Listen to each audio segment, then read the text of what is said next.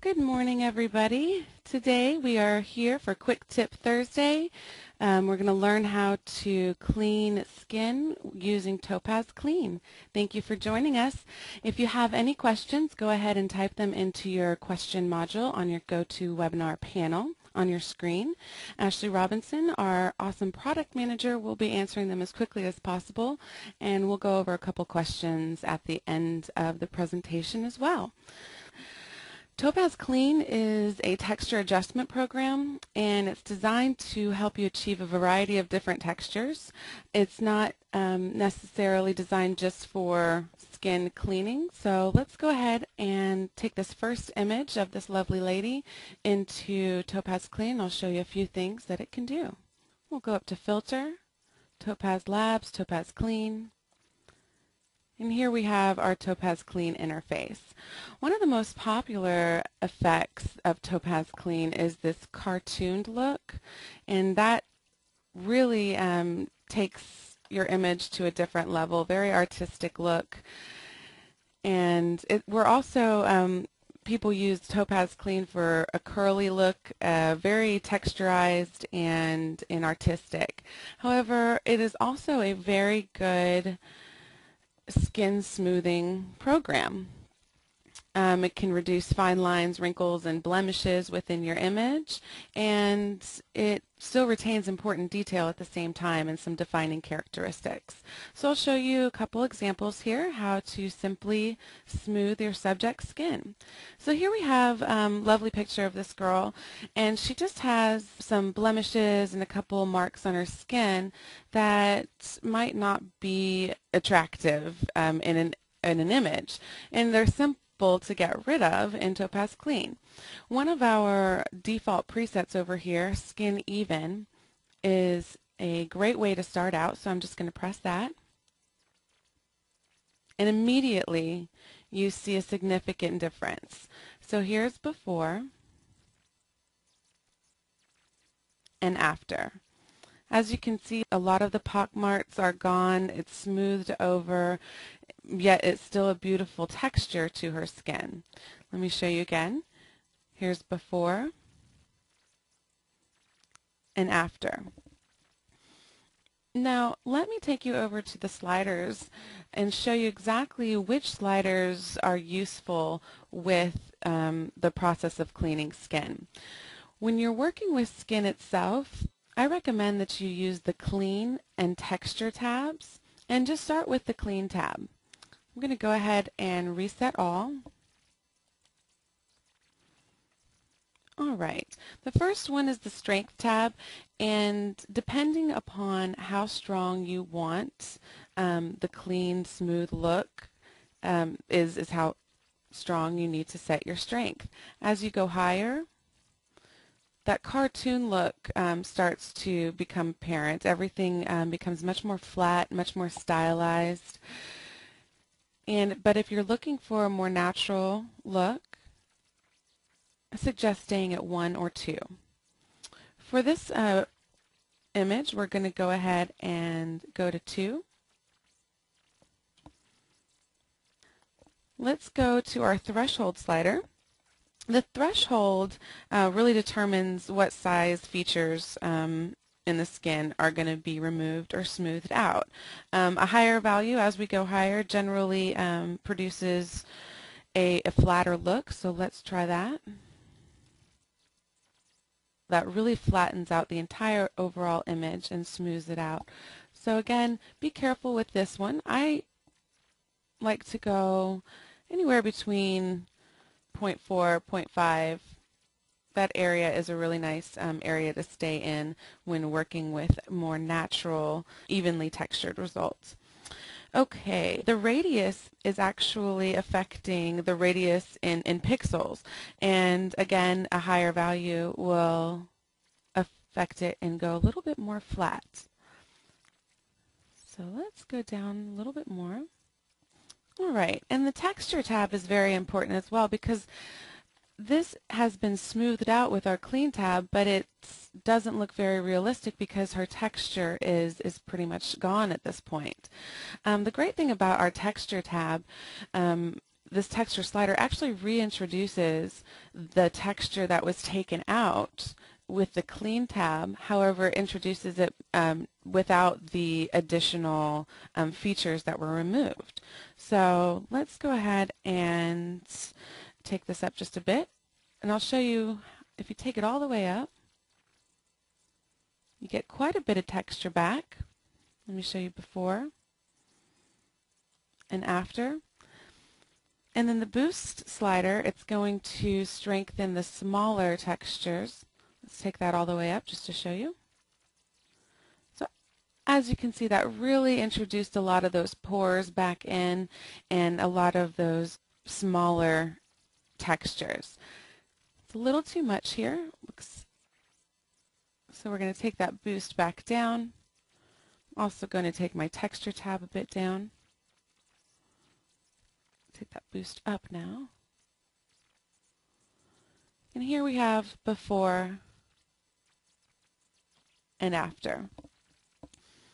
Okay, the last of the sliders here is the size tab. Let's take that all the way up so you can see. What that does, as you go up in size, it sets the, um, in pixels, it changes the size of the texture that you're going to be reintroducing. So here is a bit more larger texture that was introduced, and as you go down, it's a bit smaller texture. So this is going to be a little bit different for each person that you work with. However, the skin even, again, is a really great starting place, and I recommend that you do that with your portrait images. Okay, I'm going to go ahead and press OK. We have our before and after image. It's a nice um, transition. I'll tell you one of the workflows that I really enjoy, though, to bring the details back into the eyes, um, really focus on that catch light and those things that are really important within pictures of, of people.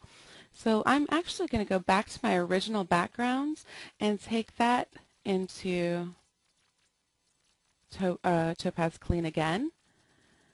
And what I'm going to be focusing on here is really bringing out the lines of the eyebrows, the eyelashes, the sharpness of the eyes, um, the overall crispness of the hair, really bringing out some texture that might have been taken away during the skin cleaning process. So let me go down to Reset All. And instead of working in the Texture or Clean tab, I'm going to work within my Edges tab. And here I'm just going to really focus on the eyes and the hairline to see exactly the effect that I'm producing. Here, take that accent slider all the way up and just to see the difference. And let me show you here. Just focus on the eyes and the eyelashes. Here's before and after. It's pretty subtle at this point. Um, it, the accent really controls the degree of edge enhancement. Um, it'll define line, uh, lines a bit more as you increase it. And so when you go to the radius, it's actually defining the size of the edge being processed. So this can really help define your look as well. So let's take that radius all the way up. And that is starting to give us a curly look. For um, eyelashes, I tend to go pretty down with the radius since we want to keep a more natural look and then take my sharpness pretty high. As you can see, that's that's a very um, defined look there, very stylized. So I'm going to take my sharpness a bit down until I'm happy with my result. Now notice this hairline, the hair itself, the um, overall um, the catch light, how it's really become much more sharp. Here's before, and here's after. So what I'm going to do here is I'm going to take that back into Photoshop. I'll go ahead and make that a bit more so we can tell the difference. Take that back into Photoshop and say OK. And the layer that I worked on the skin is above the layer that I worked on the eyes and the hair. So on the layer of the skin, I'm going to actually do a layer mask and say reveal all. Make sure I'm on my black, um, my black brush. Just so you can see the difference, I'm going to keep my opacity at 100, but you definitely, when you're working on your images, that's going to be a striking difference. So you probably want to take that down just a bit. But let me get in closer here. And what I'm going to do is I'm going to brush that detail back into the eyes.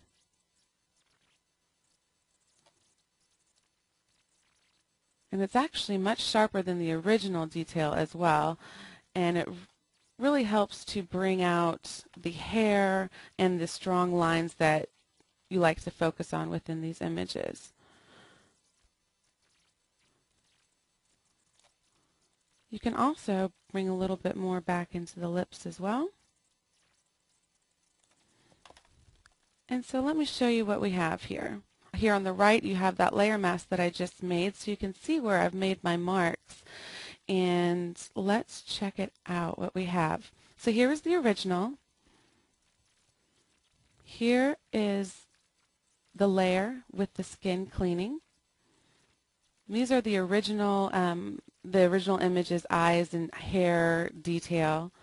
And now Here's a bit more sharp. So those are just some tricks and tips I have for you on skin cleaning and um, bringing out the detail within the eyes as well as the hair and, and, and eyelashes. And overall, using Topaz Clean can give you a very balanced and evenly textured result, which is something that you might be looking for within portrait imagery. So at this time, I'll take a couple questions. Uh, let me check it out and see if we have any. Let's see here. Greg is wondering how this will work with restoring old photos, scans. And um, Greg, I don't actually have an old black and white example set up right now, but I imagine that it will help especially the clean tab will help take out some of that grain that will be within those scans and those images and clean up any sort of um, relevant marks. And the good thing about Clean is that it can be a very subtle program. A lot of um, users don't realize that it can be anywhere from very subtle to very extreme artistic um, effects. I hope that helps, and I would definitely try it out. If so, send us a picture and tell us how it looks. All right, thanks again. We'll be answering some of these questions online if you want to stay online, and um, otherwise send them to webinars at topazlabs.com. Look forward to uh, another webinar. Thanks, guys.